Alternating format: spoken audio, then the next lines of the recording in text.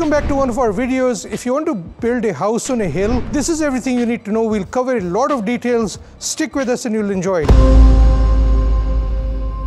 Welcome to one of my projects. This is a complicated project in Los Altos Hills. It's a hilly area and in this project you'll see we have a lot of slope that we've had to deal with and the ways of building foundations in areas like these with the top type of soil we have and there are ways in which we deal with cutting into a hill, making the home structurally sound and when you build a custom home like this you have to deal with all those things. And a third thing you have to deal with is drainage. Drainage becomes a big deal in certain cities and this is one of them. So follow me along as I show you what we're building here. The entrance to the home will be on this gentle slope and the car will come, there'll be a driveway and it turns around and it goes back there where the front entrance of the home will be. And now we are in the foundation stage. Yeah, we are able to build a project like this typically in a year and a half. So we've already spent about seven months grading, doing the foundation, doing the drainage work, and we have about eight months more to go. And I'll, I'll take you through each of the steps. So when you start a foundation for a home like this, first thing we do is we get the surveyor involved. Typically, there is a survey done before the plans are made. Then the home is situated on that site plan, which is developed by both the surveyor as well as our designer or architect. And then you place the home there and you get the permits. And once we start construction, we bring back the surveyor. The surveyor does what's called staking. They mark all these points. So all these sticks with the flags that you're seeing, they tell us the elevation of each one of these. So that gives us an idea how much soil to cut or fill in these areas. The sticks also tell us all the corners of the property. So we know how to basically position the foundation exactly the way it is in the plans. Once we set up the foundation, the surveyor comes back yet again and writes a letter stating that we have placed the foundation exactly the way it was in the survey and the site plan. And that letter is given to the city. So the city knows two things. A, we are situating things the way we were supposed to situate, and B, we're not making things any bigger than shown in the plans. And that's important for cities. Their tax revenue is based on square footage of the properties. So the city knows we are not cheating. Nobody bribed us to make the project bigger than it is in the plans. So that letter is important. It goes to the city. Then they let us pour the concrete and finish the foundation. There are three types of foundations. There's a slab foundation you may have heard of, there's a raised foundation you may have heard of, and the third one in hilly areas, specifically in areas with what's called expansive soil. Third type of foundation is a pier and grade beam foundation. So what that foundation entails is we basically end up having a lot of piers. The diameter of each pier is known and the type of rebar and the amount of rebar and the thickness of rebar, all that is determined by the structural engineer and the soils engineer is involved. And as we dig each of these piers, we use an auger like a corkscrew. And as we dig each of these piers, the soils engineer tells us when to stop digging. He, he or she looks at the soil that's coming out. They literally hold the soil in their hand and they establish whether we've hit base rock or whether we are still going through what's called native soil. You see, these are pretty deep. If somebody falls in here, it's a big accident. So we don't want that to happen. So we cover this with plywood. But now you can imagine the amount of concrete that we need to pour in all these these holes, each one of these being a pier. That's step one. So I've given you, given you a long description of step one. We have poured 43 cubic yards of concrete so far in the piers. That's three concrete trucks, the big trucks that you see. And that was all done in about half a day.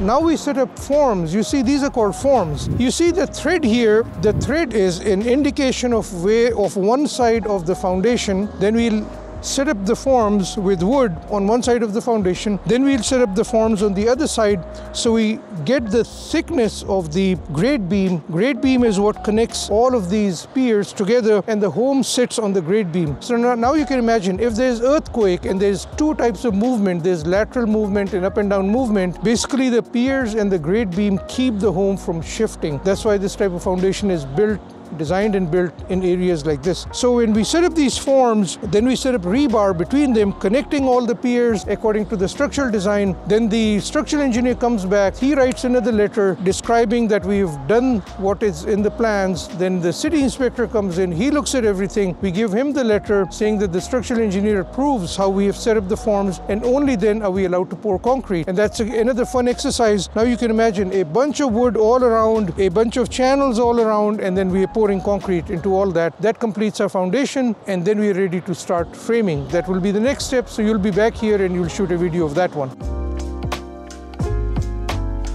This project is built on a hill. As you can imagine, the elevation of the hill, and you can imagine how much we've had to cut into the hill and how much soil we've had to export. For some projects, we import soil. For some projects, we export soil. For this project so far, we've exported 147 truckloads worth of soil, each of these being the big trucks on the freeways. So you can imagine digging all this, excavating all this, and imagine the distance from the top of the soil there, which is the, what's called the natural grade, to the bottom of the lower section, that's about a good 25, 30 feet of soil that we've extracted from here and then exported. So the considerations are when you have a subfloor partial basement like this, is basically a bunker, It's basically a concrete bunker because you don't want the soil collapsing and collapsing into the basement and basically destroying the basement. A certain consideration is given to the structural integrity of the basement there, different type of design than the area upstairs. Upstairs also we have certain challenges You have bedrooms here that have windows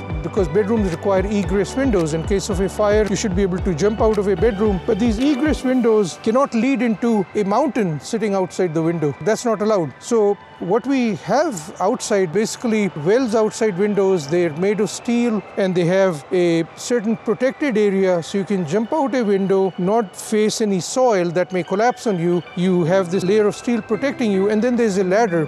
So the ladder allows you to come out of the well and these are called light wells. They bring in light from the top and they allow you this open space so you can jump out of the window and escape. So this project has five different light wells depending on where bedrooms are and where the windows are. They're facing the hillside there.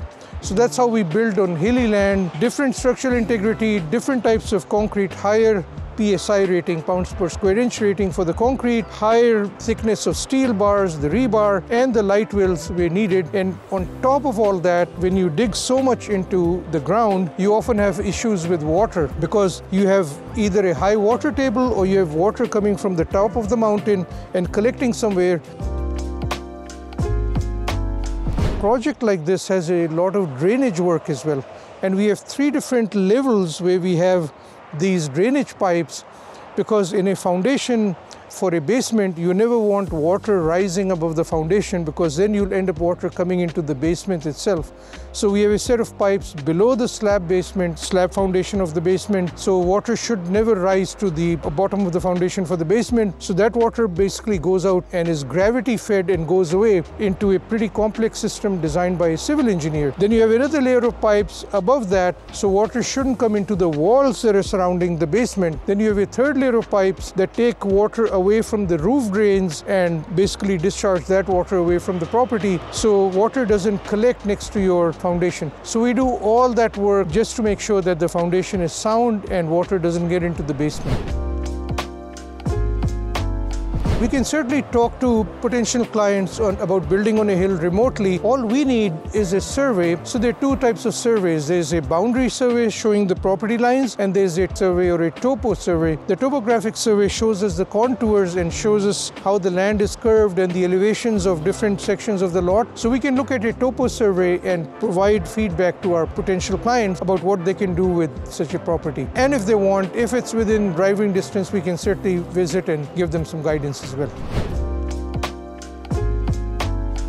Building on a hill typically is more expensive than building on a flat land for a few reasons. A, the amount of site work, the amount of dirt we have to excavate and export, that can add to the cost quite a lot. Here I am standing in a basement that we built. You can see the amount of dirt we've had to excavate. Let's describe to you very quickly what this basement does. And upstairs we have five bedrooms. Here in the basement also, we have a bedroom on this side We have a home theater here, full bath over here, so that's why you see the plumbing connections. And we have a big gym on that side and a big family room on, on this side, and then access to the upstairs from this section. So that's what we do in a custom home in a basement. And then there's a lot of drainage work that we've done to make sure that water doesn't come into the basement. So lots of details that we can cover with you. Construction costs are very high in the Bay Area. So typically people are quoting $400, $500, $600 a square foot. And when you have a basement that's involved, with all the concrete that needs to be poured, with all the excavation that needs to be done, with all the site work that needs to be done, and all the drainage work that needs to be done. Now you're talking $600 a square foot, $700 a square foot. That's why people say basements are expensive, and you can see how much dirt we've excavated in this one. So keep those costs in mind as you consider a project with a basement. So now you know we build a lot of these projects on hilly areas. We know how complicated these foundations are. We build basements. We do a lot of drainage work. We do a lot of site work, excavation, all that stuff that's needed for complicated projects like these. So if you have a project, you always should look for someone who's experienced who's done this before, who's not going to use your project to learn so they won't make any mistakes. Look for people like us who are experienced. Visit our website, breakthroughbuilders.com, and we'll be happy to help you plan a project like this and execute.